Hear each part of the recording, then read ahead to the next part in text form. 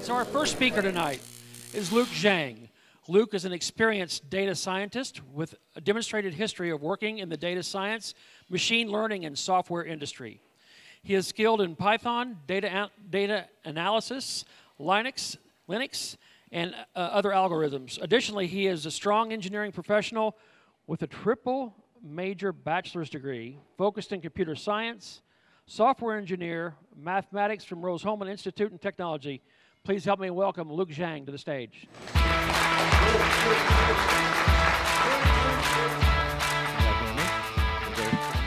All right.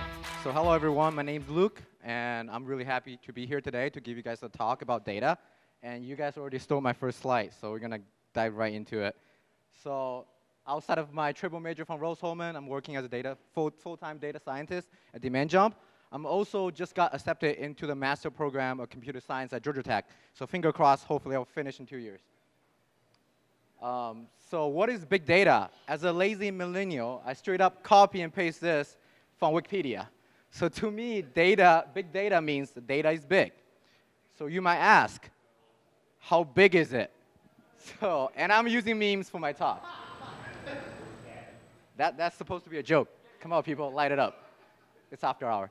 So let me tell you, what, this is what happens in a minute in the internet for 2018. So 18 million text messages were generated in every 60 seconds. $863,000 goes to online shopping. And most importantly, 1.1 million Tinder swipes that happens in social media and social dating. So I guess a lot of people are trying really hard to find true love. So that's data per minute. Let's see even crazier numbers. Overall, 2.5 quadrillion bytes of data was created every single day last year. 90% of data in the world right now was created in the past two years. That means we're getting more and more data in a faster and faster pace. 3.7 billion people use the internet nowadays. That's 50% of the total population. And for internet device, we are getting more and more smart device to install in our home to make us feel smarter. So after seeing all those crazy numbers, you might think, oh, I own a small grocery stop, shop. I don't really care about those tech and data stuff.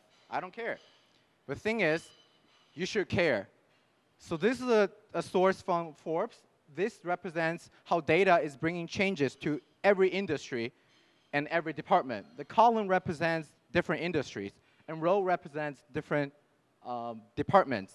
The bigger and the brighter the dot is means the more impact the data is bringing. As you can see, uh, you can't really see really well, but data impacts every department in every industry. You might ask, how do I utilize those data? First thing first, let's check out Google's data. Now we are all addicted to Google. Whenever you run into something, you Google that. Last year, actually right now, there are 63,000 searches that's being performed every second. People don't know anything, they search for Google.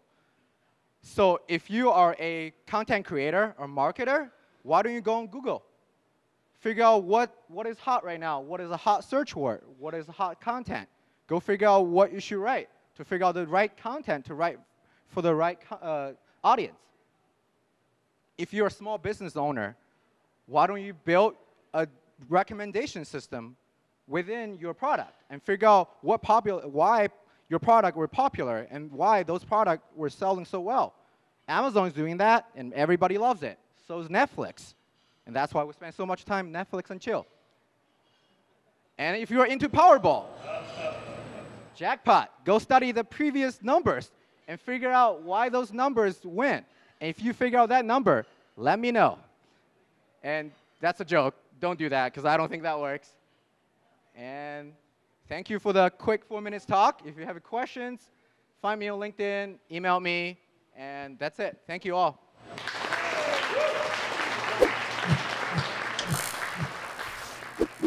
Don't delay.